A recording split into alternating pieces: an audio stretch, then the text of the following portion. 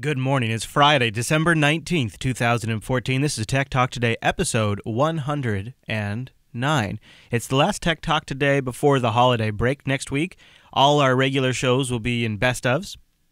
And uh, so, since the rest of the network is going to be on best ofs, or in some cases like Women's Tech Radio and BSD Now, they've recorded uh, all new shows. And even in the best of shows, we're going to have some new content in there. But because of that, I'm going to use the time to rip the studio apart and fix a few things that have been really bugging me. So, this is the last episode before the holiday break. So, why don't we start with our special holiday mumble crew? Time appropriate greetings, Mumble Room. Time appropriate Hello. Hello, Hey. hello, hello. Hey, we got some. Uh, we, we got some of our regulars in here, and we also have a few visitors in, that are in here because it is the holiday season, and uh, they're not doing their regular thing. So let's dig into our first uh, story today, which uh, I was going to play with the format a little bit, but there turns out to be some pretty significant news breaking that I want to cover. So let's start with this first one. That's probably going to have uh, a lot, a lot, a lot more reporting about it in the more technical aspects. But right now, this is coming from the Washington Post, reporting on some research that uh, discovered security flaws in something called SS7. Now, SS7 happens to be something that is fundamental to the way your cell phone works that you've never even heard of. Uh, more specifically, I believe uh, it's uh, how the cellular networks are able to communicate with each other across networks, um, perhaps even internationally. Uh, the flaws to be reported at a hacker conference this month are actually functions built into SS7 for other purposes, such as keeping calls connected when users speed down on highways or when switching from cell tower to cell tower. So these are sort of standards across the industry that all cellular providers have to use, so that way cell phones are compatible when they move around like this. Uh, the hackers can repurpose this, these functions for surveillance because of lax security on the network. It is thought that these flaws were used for bugging German Chancellor Angela Merkel's phone, perhaps, by the NSA. So they are, I think, implying that perhaps the bugging of some well-known officials by the NSA got people to try to figure out how are they doing this. Those skilled at housekeeping functions built into SS7 can locate callers anywhere in the world. Listen to calls as they happen. Record hundreds of encrypted call- calls and texts at the same time for later decryption offline. There is also potential to defraud users of cellular carriers by using SS7 functions, the researchers say. Hmm, maybe perhaps in the roaming areas. There's also this is this is another result of security being considered only after the fact, as opposed to being part of the initial design. Uh, and I have a link in the show notes for additional coverage. This is a pretty big story, so I just begun to sort of break it down. Uh, but the things that jump out at me about this is specifically they're trying to figure out how did they get Angela Merkel's cell phone. So th- they begin going at it from this angle, right?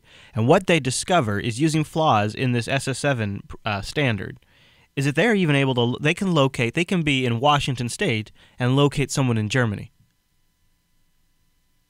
That's that's mind blowing, right? Is, is is that blow anybody else's mind? I mean, that's just that's incredible. Anywhere in the world, I mean, the cellular network has really become a global loca- locating system, I guess. Um, so uh, it's this SS7 system that's flawed. Much more open than we're used to, but I guess that's how the, the phone systems are. Like the, I'm trying to think, is it System 7? What's the uh, the protocol that the original phone systems ran on? I mean, They're actually- Captain Crunch and all of They're that. actually, you know, uh, they're actually the thing is they're talking about the global S- signal system seven network. So is that what you're talking about? I think so. Yeah, Uh, it's it is very old. It's an outdated infrastructure that's very easy to hack. Uh, so these German researchers discovered the flaw. It's built. It was built in SS7 for other purposes. So they're just using functionalities that's actually built into it. Carriers like AT&T, Verizon, uh, with 3G and 4G networks for calls, and texts are sent from people within the same network. But they use, even if you have the, the latest generation uh, wireless technology, insecure SS7 when they send data across between networks. So at this point where the networks have to meet, that's where this comes into play. And since all the networks have to be able to talk to each other, they all have this. old technology has been in use for a long time. I'd say that might just need an upgrade. Uh, so, uh, what do you do to get avoid being hacked or spied on by people exploiting SS7? Uh, the ACLU's principal technologist Christopher Soghoian said, "Don't use the telephone service provided by the phone company for voice. their voice channel, pretty much does it. their voice channel is not cool. secure. Period." there you go. Wow. Wow. Uh, so this is a story that'll continue to develop uh, while we're on holiday break, and if there's any major developments, I'll follow up on it when we get back, and we'll probably also roll coverage into TechSnap. Uh, additional links in the show notes if you want to read more about it. It's pretty crazy. All right, we got one more security thing, and then I got a story that's going to make everybody feel really good. So don't worry, it's not all bad stuff right before the holidays. But this one's important, especially as we just started openyourmouth.recipes for open source recipes from the Jupiter Broadcasting community, which is going amazing. It's going freaking amazing. Openyourmouth.recipes, go check it out. It's it's a really really cool way to collaborate with the Jupiter Broadcasting community on shared recipes of food. It's in Markdown. It's really easy to use. Uh, so speaking of Git, go update your clients, everybody. Uh, GitHub has announced a security vulnerability and has encouraged users to update their Git clients as soon as possible. The blog post reads in part A critical Git security vulnerability has been announced today, affecting all versions of the official Git client and related software that interacts with Git repositories, including GitHub for Windows and GitHub for Mac. Because of this, a client side only vulnerability, GitHub.com and GitHub Enterprise, are not directly affected, so it's client side stuff. Uh, the vulnerability comes as Git and Git compatible clients access Git repositories in case insensitive or case normalizing file systems. Oh. An attacker can craft a malicious Git tree that will cause Git to overwrite its own Git config file while cloning or checking out a repository. Git clients running on OS 10, HFS Plus, or any versions of Windows are exploitable through this vulnerability. Linux clients are not affected if they run a case sensitive file system. Interesting. An exploit because of case insensitivity. So uh, if you are on one of those uh, uh, really adorable operating systems, uh, go update uh, your, your Git client. All right, now here's some good news. Here's some good news. Uh, this is a this is amazing. This reminds you that we really are almost in 2015 now. A double amputee is controlling two robotic robotic robotic robot arms. He's controlling his robot arms with his mind. Uh, kind of like yeah, he's actually uh, he's just thinking the commands, and the arms uh, do as he says. The project's researchers have been developing these modular prosthetic limbs over a decade. Uh, this O is the first bilateral shoulder level amputee. He lost them in a in like an electrical accident. His both his arms. Uh, so he is able to control these through his mind, but they had to actually rework some of his nerves. Uh, it's a procedure called targeted muscle reinvigoration. I think I'm or renerveration or something like that. It's really crazy. Uh, it's it, where they reassign the nerves that once controlled his arms and hands. Once that was done, the team recorded the patterns that his brain makes for each muscle he moves. And then they had him control virtual arms to prepare for the real thing. So they simulated the arms in the computer. Uh, pretty neat. He's been, by the way, if I uh, read correctly and noted it down correctly, uh, he hasn't had his arms for almost 40 years. So uh, they give him these ro- these robot arms, and I'll jump ahead a little bit so you can see what it looks like. But this is him controlling them right here, uh, which is kind of amazing if you think about it. So Ahead of us, and and we just started down this road, and I think the next five, ten years are going to bring some really phenomenal advancements. Other milestones reached by the team were this was the first time the MPLs were operated by a shoulder level amputee at the full three degrees of freedom and with over 30 total degrees of motion on both sides with complete intuitive thought based control. He has access to all of the different degrees of motion shoulder, elbow, wrist, hand, but he still needs to select which one he wants to use. So he needs to position the shoulder, then the elbow, then the wrist, then the hand separately and rest in between. Maybe I'll be able to, for once, be able to put change in a pop machine and get the pop out of it. Simple things like that that most people never think of. And, it, and it's re-available to me. Pretty crazy. Um, and uh, I think the funding for this research actually has a military connection, so it's possible that there's there's other uses for this technology. I would think. I love that though. That is that is so cool. Yeah, right. Uh, and uh, it's it's obviously you know they have to they had to map these nerves and then had to you know watch them in the computer to see when he thought about doing something what nerves were lit up and then they had to map that specifically to, all to him. So uh, I think this is probably uh, something they couldn't just mass produce. They have to you know custom build it for each person but you got to figure that this is a, an amazing first start.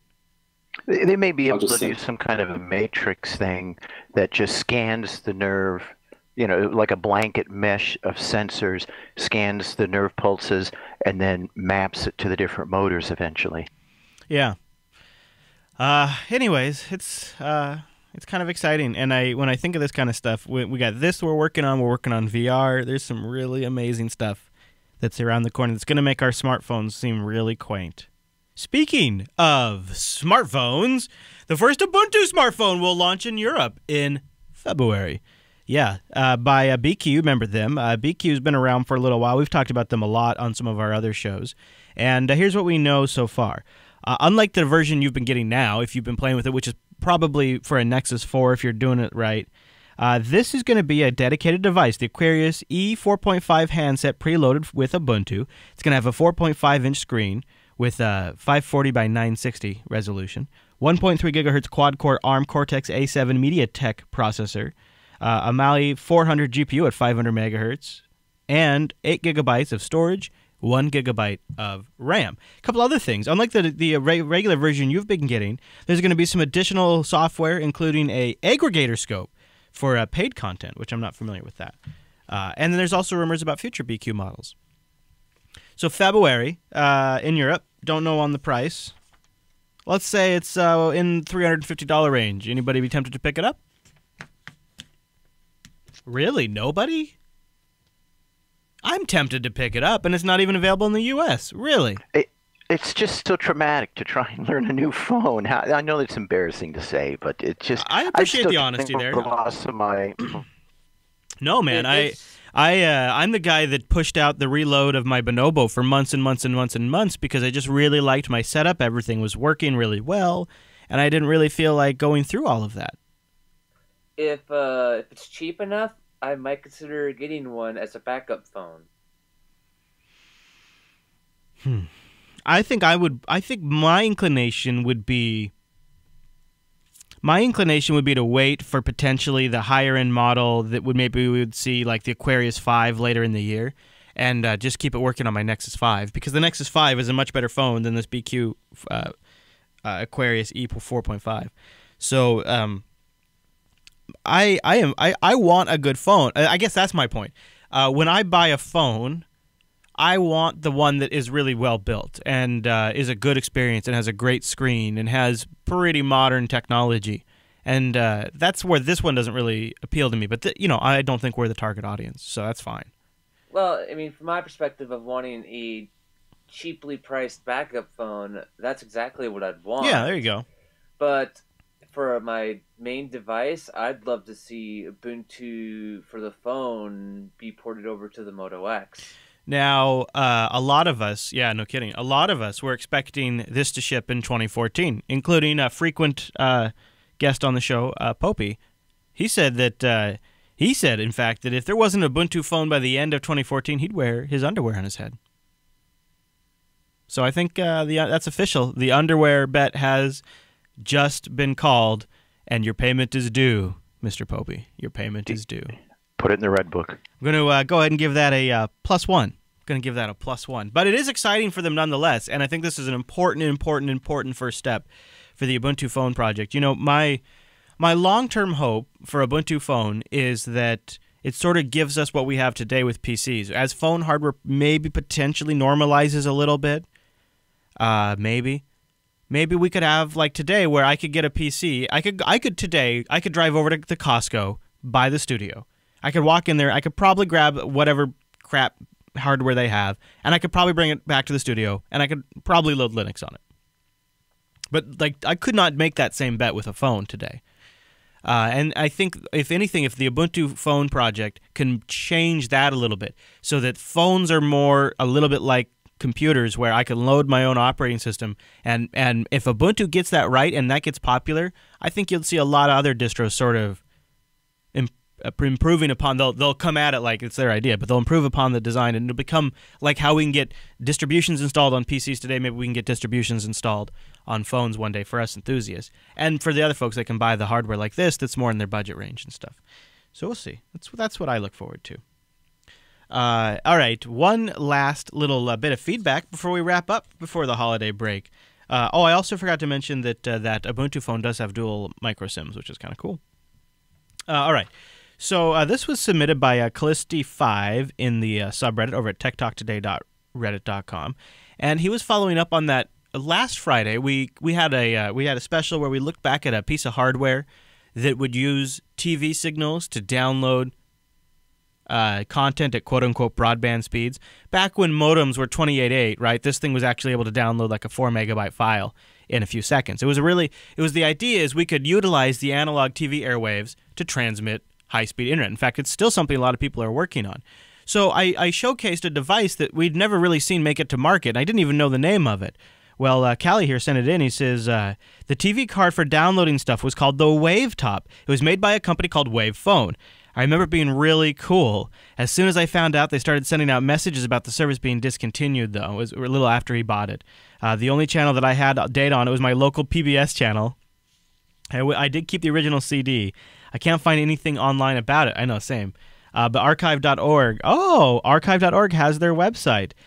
Uh, it took quite a long time to get the data downloaded, and it really needed a good TV signal to work on the old rabbit ears.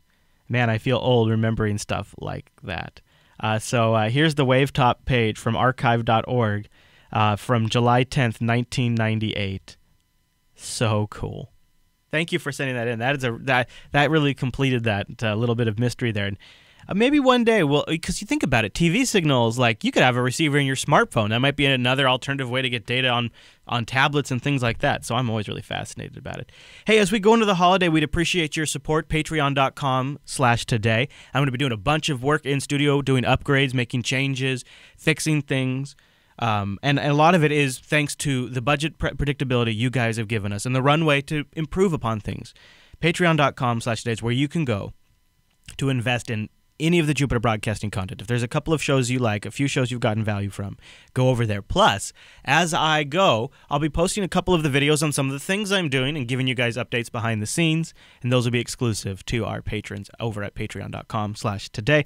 Over there right now is the Dev Summit video and some recent behind the scenes tours, so you can check those out. Also check out uh, jbdev.community for that as well.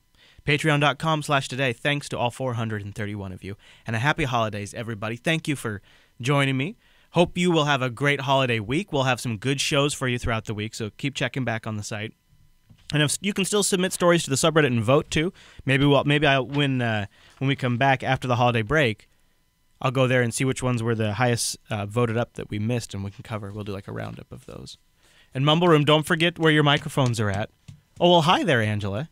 Oh, hi. Did you have anything you wanted to add before I run?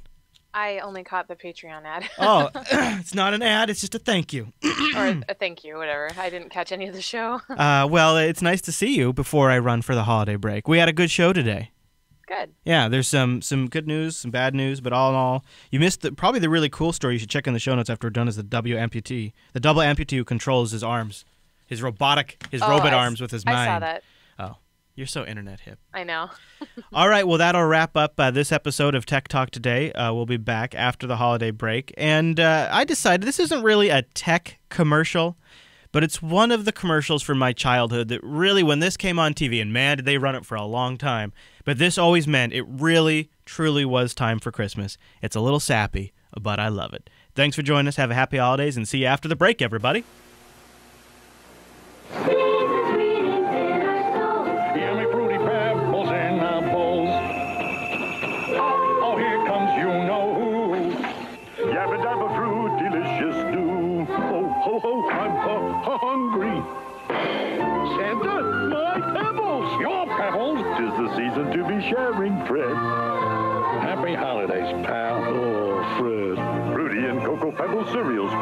Nutritious breakfast.